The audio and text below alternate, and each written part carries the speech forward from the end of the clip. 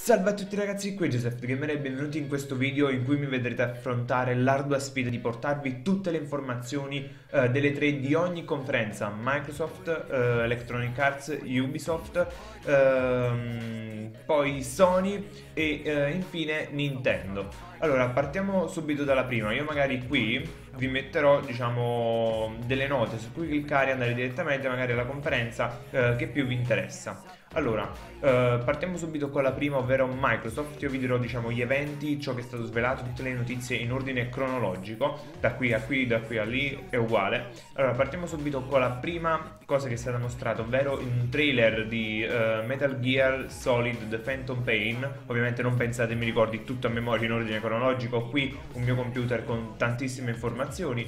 Quindi questo primo trailer di alcuni minuti, forse mm, non so nemmeno se di meno di più, comunque alcuni minuti giusto per iniziare, per incominciare a rompere il ghiaccio. Poi successivamente ehm, diciamo, si è parlato del fatto eh, che ci sarà una nuova Xbox con un nuovo design sullo stile comunque della nuova Xbox One, quindi qualcosa di molto simile che richiama molto diciamo, questo design eh, nuovo e inoltre hanno parlato del fatto che il, il Gold, eh, l'abbonamento per Xbox Live appunto, permetterà di scaricare, eh, ovviamente legalmente, dei giochi gratis. E i primi due a quanto pare saranno Assassin's Creed 2, diciamo il titolo che a quanto pare di Assassin's Creed ha portato delle vere novità nella saga, anche perché appunto è stato il secondo. Comunque un titolo che a me personalmente è piaciuto molto. E poi Halo 3, nonostante comunque siano due giochi piuttosto vecchiotti, ehm, ovviamente per chi non possiede questi giochi è una cosa, diciamo, niente male. Poi successivamente è stato mostrato World of Tanks uh, per Xbox 360, a quanto pare un vero e proprio free to play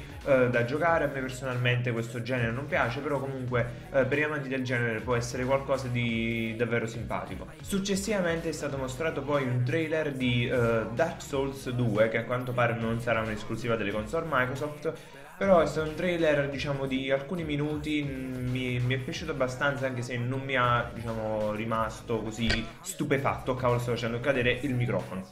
Poi successivamente è stato mostrato un altro gioco, ovvero Rise, cui hanno mostrato anche il gameplay.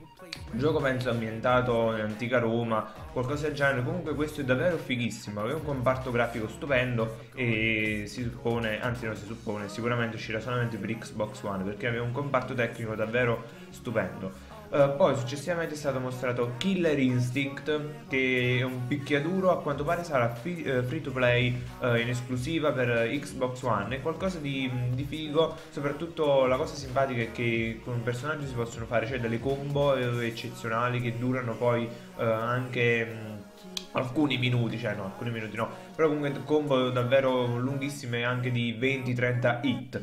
Poi successivamente eh, Insomniac Games ha presentato Sunset Overdrive, che è una sorta di open world davvero mh, mm, mi è piaciuto molto.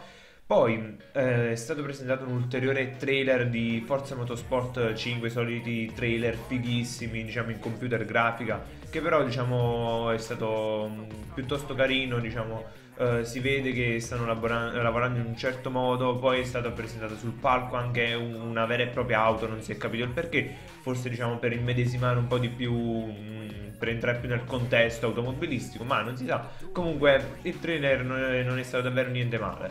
Poi si passa mm, a Minecraft per Xbox One, infatti quanto pare sarà un'esclusiva uh, e vi è, vi è, stato un semplice trailer in cui è stato mostrato uh, appunto l'omino di, di Minecraft uh, che vagava avanti e indietro e poi con sotto la scritta per Xbox One.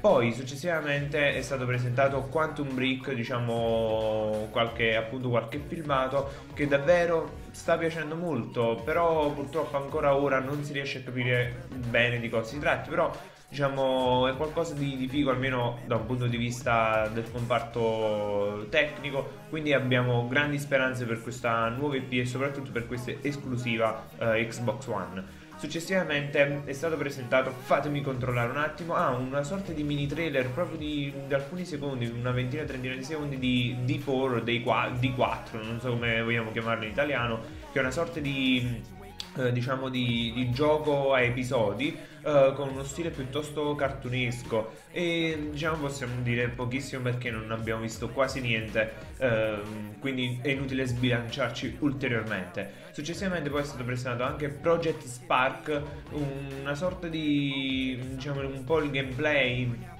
eh, diciamo può essere definito come qualcosa di simile a Little Big Planet, ovviamente non conosciamo il gioco e non possiamo sapere se è davvero così, però comunque è qualcosa di davvero simpatico. Successivamente poi uh, vediamo un po', ah c'è stata, è stata mostrata la possibilità uh, di, diciamo, tramite la dashboard stessa di registrare alcuni minuti, no minuti no, forse di meno, sì, alcuni secondi di gameplay, quindi non penso sia stata integrata la possibilità di registrare gameplay interi sui quali fare commentari. Però una cosa carina è che si poteva fare un vero e proprio streaming durante il gioco eh, e immagino anche commentare eh, e tutti, eh, questo tramite Twitch e tutti gli utenti a fianco potevano istantaneamente eh, scrivere dei commenti. Questo magari per noi appunto youtuber può essere una cosa davvero davvero carina. Successivamente poi, vabbè, visto l'annuncio che eh, Microsoft sostituirà eh, i, i, Microsoft Points eh, con i soldi veri, quindi con euro, sterline e cose varie, questa diciamo, è una cosa secondo me che non è una grande notizia, potevano farlo anche in precedenza senza presentarlo alle 3, magari lì si sono sentiti in vena di presentare eh, tutti i cambiamenti riguardo appunto Xbox, Xbox One, quindi eh, diciamo va bene così, era forse ora. Poi è stato presentato il gameplay di un altro gioco, ovvero Crimson Dragon, che in realtà uh, non mi è piaciuto più di tanto. Mm, diciamo, stati, è stato appunto presentato questo gameplay di giusto un paio di minuti, forse sì, ma niente di particolare. Almeno a me non, uh, non è piaciuto più di tanto. Poi successivamente un, un, gameplay invece che mi è piaciuto molto è stato quello di Dead Rising 3, uh, infatti è piaciuto anche molto al pubblico, comunque uh, diciamo sì, si mantiene un pochettino lo stile di Dead Rising, sempre il fatto di combinare diverse armi, però forse qui sembra ci sia uno stile più serio rispetto diciamo anche ad esempio a Dead Rising 2, comunque diciamo sembra davvero figo, aspettiamo ovviamente ulteriori gameplay, trailer, informazioni per poterci sbilanciare di più, però comunque è stato davvero fighissimo e abbiamo buone speranze per questo nuovo capitolo di Dead Rising. Poi un, uh, ah, un altro titolo che è stato molto acclamato è stato The Witcher 3, uh, The Witcher 3 scusatemi. Uno poi cerca di parlare velocemente e quindi si impappina anche. Uh, comunque non è stato mostrato mi sembra poi chissà che cosa però comunque uh, quel poco che è stato mostrato è piaciuto molto appunto uh, al pubblico stesso poi si, si, è parlato anche di Battlefield 4, eh, di cui è stato mostrato anche un gameplay, se non sbaglio. Sì, ora sto facendo forse un po' anche di confusione, eh, di confusione con la conferenza EA, perché appunto questo gioco è stato mostrato anche nella conferenza EA, perché appunto mh, è dell'Electronic Arts. Comunque, eh, nel complesso possiamo dire che me è piaciuto molto. Uh, però comunque almeno dal computer non si notava poi una gran differenza rispetto a Battlefield 3 ovviamente cioè pensate che lo streaming non si vedeva nemmeno poi tanto bene. Quindi ov- è ovvio che una volta che avremo il gioco in mano e potremo davvero giocarci le differenze lì si noteranno poi ehm, è stato mostrato anche un, un mini trailer, un, diciamo, un, trailer velocissimo di Below che dovrebbe essere appunto un'altra esclusiva di Microsoft. E poi eh, con un trailer piuttosto particolare cioè, che mostrava un tizio eh, con addosso diciamo, un semplice mantello, un, un cappuccio, no, non è Assassin's Creed, eh, vagava in un deserto e mm, all'improvviso è sbucato dal terreno un mostro gigantesco che appunto apre le ali, un volatile tecnologico e quindi l'impatto, l'onda d'urto uh, fa togliere il cappello a questo personaggio, il cappello no, il... Um, diciamo appunto il cappuccio al personaggio in realtà si rivela essere il protagonista di Halo Master Chief. Quindi ehm, avremo sicuramente ehm, si pensa sì nel 2014 eh, si pensa forse c'era scritto non lo ricordo nemmeno nel 2014 quindi sicuramente arriverà un nuovo capitolo di Halo. Quindi diciamo i fan eh, di questa esclusiva Microsoft sicuramente saranno contentissimi di ciò.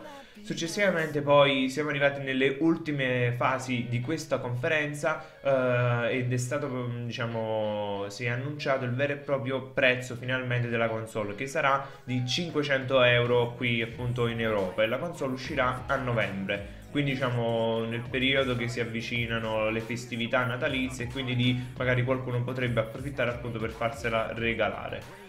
Comunque, mm, eh, successivamente è stato mostrato come ultimo gameplay per quanto riguarda la conferenza Microsoft, eh, il, mm, diciamo, un gioco eh, da, col motore grafico di Valve eh, chiamato Titanfall, eh, roba davvero fighissima con dei robottoni giganti, però non sono robottoni che si muovono lenti, no, e, diciamo sono velocissimi. Poi c'è, mm, è, un, è un FPS, scusatemi, non l'ho detto all'inizio, era la prima cosa che avrei dovuto... Che, appunto dovevo dirvi ragazzi parlando velocissimo mi sta seccando tutta la gola sto morendo. Ma per voi questo ed altro comunque come dicevo è un, un FPS davvero fighissimo. Uh, pensate che il personaggio mentre spara può addirittura fare parkour saltare da un palazzo all'altro vabbè come Crisis tra l'altro non è una novità. Però uh, il fatto di poter camminare addirittura sulle pareti stile Prince of Persia mentre si spara e si salta è qualcosa comunque di davvero fighissimo Comunque eh, con ciò si conclude la conferenza Microsoft nel complesso di per sé è stata una bella conferenza eh, nonostante magari qualcuno come ho visto nei, diciamo, un po' in giro sul web è rimasto eh, scontento da alcune cose. Comunque nel complesso a me è piaciuta senza contare però le conferenze che appunto sarebbero venute dopo, infatti quella di Sony, eh, di cui parleremo successivamente, è riuscita a un po' mettere da parte diciamo l'hype che c'era per la console Microsoft. Comunque di ciò parleremo dopo. Ora ci concentreremo sulla conferenza EA.